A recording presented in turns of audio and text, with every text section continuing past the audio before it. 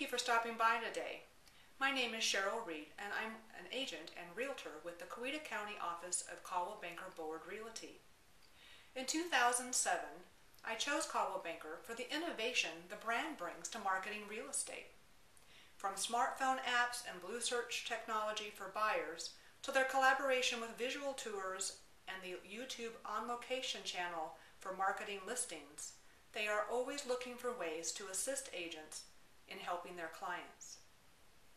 Coweta County is an estimated population of 135,000 people, located just 25 minutes southwest of the Atlanta Hartsfield Jackson Airport. It's a reasonable commute if you work in Atlanta or just like to visit to see the multitude of events available in a big city.